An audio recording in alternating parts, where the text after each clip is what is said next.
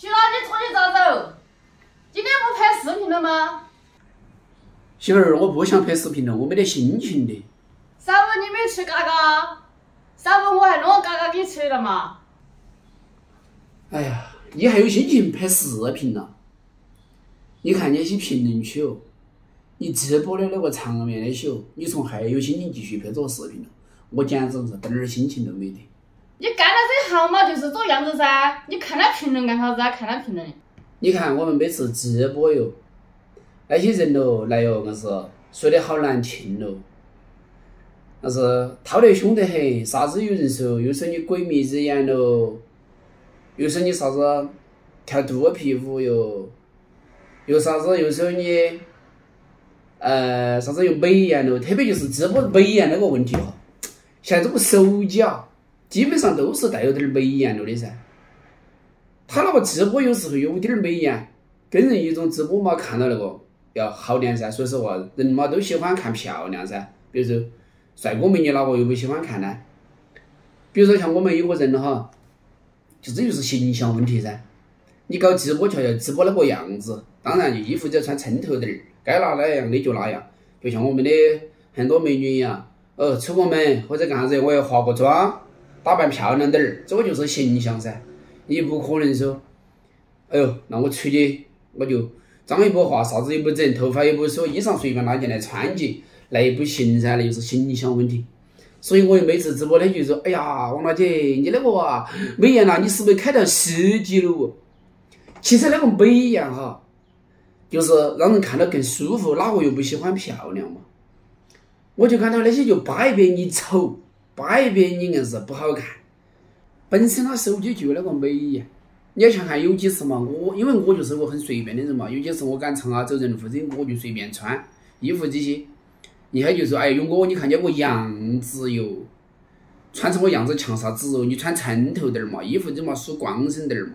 你看嘛，你说你不打针呢，他们又说你你不注意形象，出去出个门都那个样子。像你直播的时候开点儿美颜呢，让人更漂亮点儿呢，看到舒服点儿，给你一种感觉。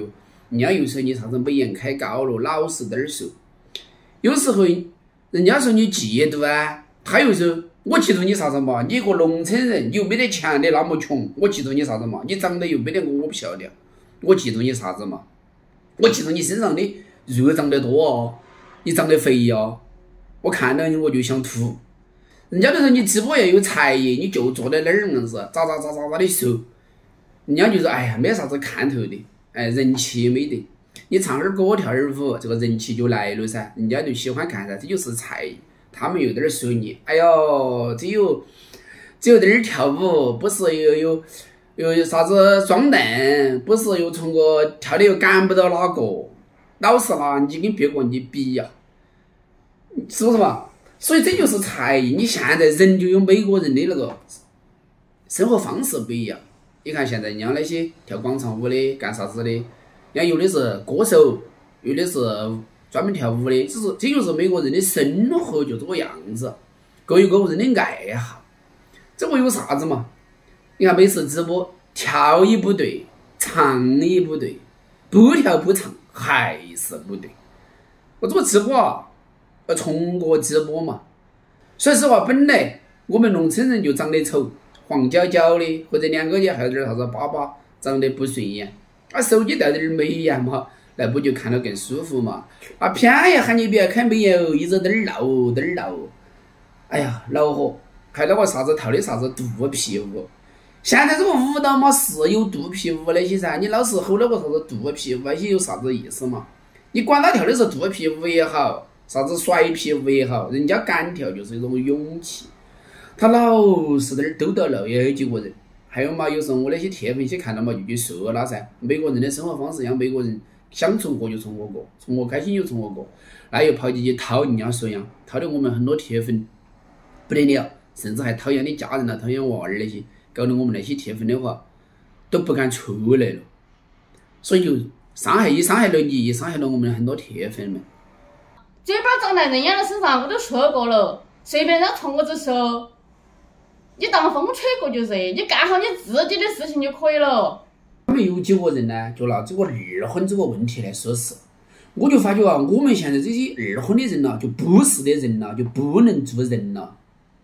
现在这个离婚结婚的人那么多啊，我们这个嘛，离婚结婚嘛，这个是正常的噻，国家都是允许的。你看嘛，有些人就是，哦，我两个是二婚，你两个狗子就不是的好人，就知道这点儿数。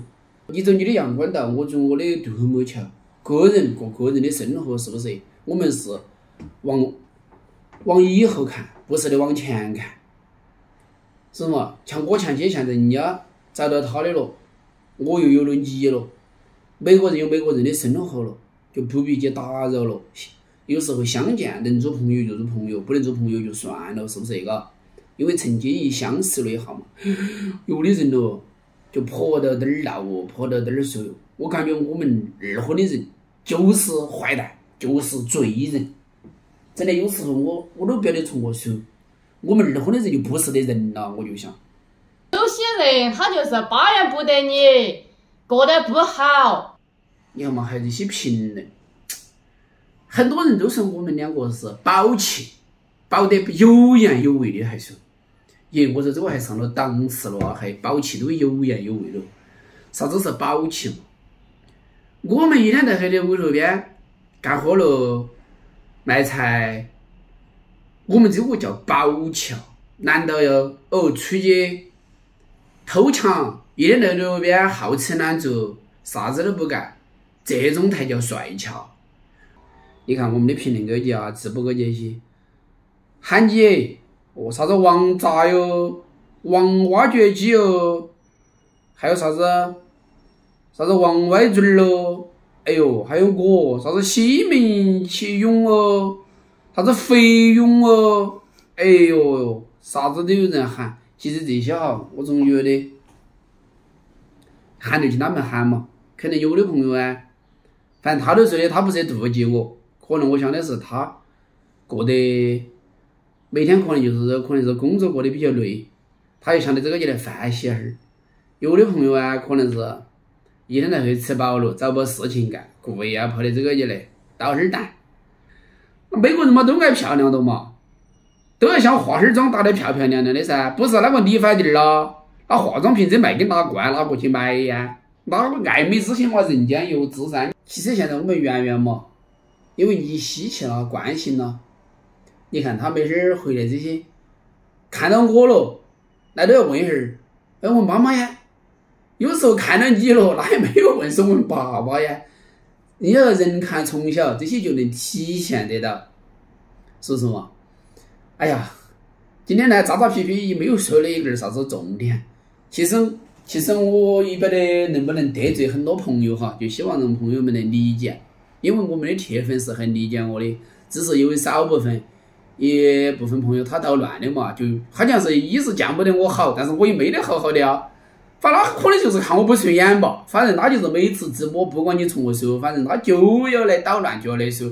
同样的拍视频的其他创作者，这个平台这么多人，同样的其实记录农村生活，人家他就不去说别个，他就要说我。